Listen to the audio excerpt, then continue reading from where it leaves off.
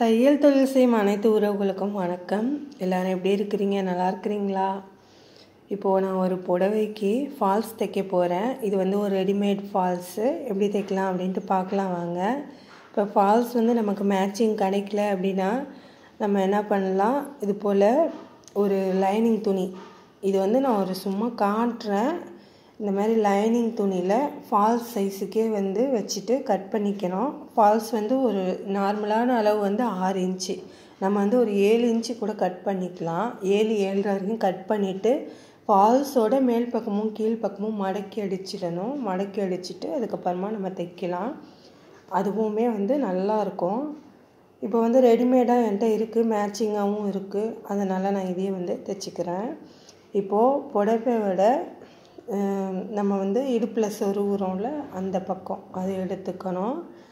அதோட உள்பக்கமாக எடுத்துக்கணும். கீழ் பக்கத்தில் எடுத்துக்கணும். பாருங்கள் நான் வந்து உள்பக்கமாக எடுத்துக்கிட்டேன். இது போல் வச்சுட்டு தான் நான் வந்து நம்ம வந்து தைக்க ஆரம்பிக்கணும். இப்போ வந்து ஒரே கலராக இருக்கணும். கலர் வேறு வேறு இருந்தாலுமே வந்து நல்லா இருக்காது. இப்போ வந்து இது பச்சை கலர் அப்படிங்கிறதால வந்து இது நான் ஒரே பச்சையாக வச்சுட்டேன். இப்போ தெரியல அந்த பார்டர் டிசைனுக்கும் அந்த பச்சை கலர் தெரியவே இல்லை. அதனால் இதே வச்சுட்டேன். இதே வந்து வேறு கலர் பார்டராக இருந்துச்சுன்னா நம்ம எந்த கலர் பார்டர் இருக்கோ அந்த கலர் தான் தைக்கணும். இப்போ நான் வந்து இந்த எண்டிங்கில் வந்து அவங்க வந்து மடக்கி தைக்காமல் இருக்குது அதனால் நான் அந்த எண்டிங்கை வந்து மடக்கி தைச்சிக்கிறேன். இப்போது ரெண்டு முனையிலையுமே வந்து இந்த கடைசியில் உள்ள இந்த இதை வந்து நான் மடக்கி அடிச்சுக்கிறேன். நீங்கள் வந்து இதில் லைனிங்கில் தைச்சாலுமே இப்படி தான் சுற்றிலுமே வந்து ஒரு தையல் அப்படி மடக்கி போட்டுட்டு அதுக்கப்புறம் தான் வந்து சேரீயில் தைக்கணும். பாருங்கள் அடையாளத்துக்காக நான் முடித்து போட்டிருக்கிறேன். இது வந்து கிரேப் சரி ரொம்ப வள வளன்ட்டு வழுக்கிட்டே போகும். இப்போ தையல் மிஷின்லேயே வந்து இது நிற்காது இப்போ தைக்கிறது கூட இது வந்து வழுக்கிட்டு வழுக்கிட்டு கீழே விழுவுது பாருங்கள் இந்த புடவை கீழ் பக்கத்துலேருந்து ஒரு ரெண்டு ஜான் அல்லது ஒன்றரை ஜான்லேருந்து நம்ம இந்த ஃபால்ஸை வச்சு தைக்க ஆரம்பிக்கணும். அல்லது ஒரு பதினஞ்சு இன்ச்சு அளவுக்கு வச்சுக்கலாம். இந்த புடவை ஸ்டார்டிங்லேருந்தே நம்ம வந்து தைக்கக்கூடாது. கொஞ்சம் இடம் விட்டுக்கணும். புடவை நம்ம கட்டுறப்ப ஒரு சுற்று சுற்றுதில்ல அப்போதைக்கு வந்து கொஞ்சம் கேப் விட்டுக்கணும். அப்போ தான் வந்து நம்ம ப்ளீட்ஸ் வைக்கிற இடத்துக்கு இது வந்து கரெக்டாக இருக்கும். பாருங்கள் வச்சு தைக்க ஆரம்பிச்சிட்டேன். இப்போ வந்து பின்னாடி பக்கம் வந்து ஃபால்ஸ் தெரியாது. அந்த அளவுக்கு ஒரு கால் இன்ச் அளவுக்கு முன்னாடியே வச்சு இந்த ஃபால்ஸ் தைக்கணும். ஃபால்ஸ் வந்து வெளியில் தெரியாத அளவுக்கு வச்சு தைக்கணும். நம்ம வந்து தைக்கிறப்ப சுருக்கம் எதுவும் வராமல் நல்லா கரெக்டாக பார்த்து தைக்கணும்.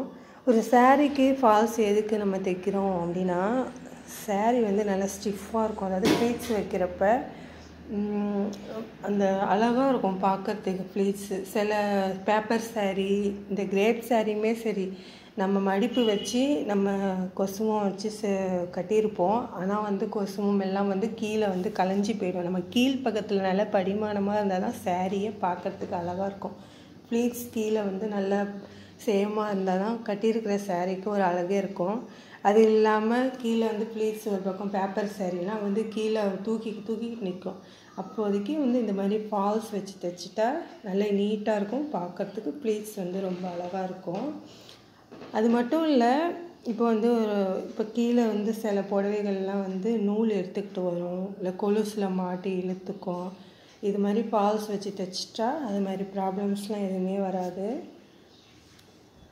நல்லா வந்து பொறுமையாக நிறுத்தி நிறுத்தி அடிக்கலாம். எப்பவுமே வந்து நம்ம தைக்கிறப்ப வேகமாக வச்சு அடிக்கக்கூடாது மிஷினை இப்போது எண்டிங்கில் வந்துட்டோம். அப்படியே வந்து உள்ளே ஊசியை குத்திட்டு இப்போ திருப்பிக்கிறேன். எப்பயுமே வந்து ஒரு டேர்னிங் அப்போ நம்ம வந்து ஊசியை வந்து உள்ளே குத்திட்டு அப்புறமா தான் திருப்பிக்கணும். இல்லை நம்ம ஊசியை வைக்கல அப்படின்னா அந்த நம்ம வந்து அந்த ஷேப் மாறிடும். நம்ம தையலோட ஷேப் வந்து மாறிடும் கோணமானலாம் ஆகிடும் அதனால் ஊசியை உள்ளே குத்திட்டு தான் வந்து திருப்பிக்கணும். பாருங்கள் இந்த பக்கமும் நான் ஊசியை உள்ளே குத்திட்டு திருப்பிக்கிறேன். இப்போ வந்து இந்த பக்கம் தைக்கிறது வந்து ரொம்ப முக்கியமானது. ஏன்னா வந்து ரொம்ப நீட்டாக வச்சு தைக்கணும். சுருக்கம் எதுவும் இல்லாமல் இப்படி தைக்கிறப்ப உள் பக்கம் புடவையில் எதுவும் சுருக்கம் இருந்தாலும் இல்லை மேல் பக்கமும் எதுவும் ஃபால்ஸில் சுருக்கம் இருந்தாலுமே வந்து நீட்டாகவே இருக்காது. பார்க்க சுருக்கமாக அசிங்கமாக ஆகிடும் அதனால் இந்த ரெண்டாவது பக்கம் மேல் பக்கம் வந்து நம்ம தைக்கிறப்ப ரொம்ப கவனமாக தைக்கணும். நல்லா பொறுமையாக நம்ம அந்த சுருக்கம் எதுவும் இல்லாமல் கையால் நல்லா சமப்படுத்திட்டு அதுக்கப்புறமா நம்ம தைச்சோன்னா ரொம்ப நீட்டாக இருக்கும் ஃபால்ஸு. ஃபால்ஸ் நம்ம தைக்கிறதுக்கு காரணமே வந்து நம்ம சேரீ கட்டுறப்ப நல்லா நீட்டாக இருக்கணும் பார்க்குறதுக்கு அழகாக இருக்கணும் ப்ளீட்ஸ் எல்லாம் அப்படின்னு தான். சேரீக்கு அழகே வந்து நம்ம வைக்கிற அந்த கொசுவம் தான் ப்ளீட்ஸ் தான்.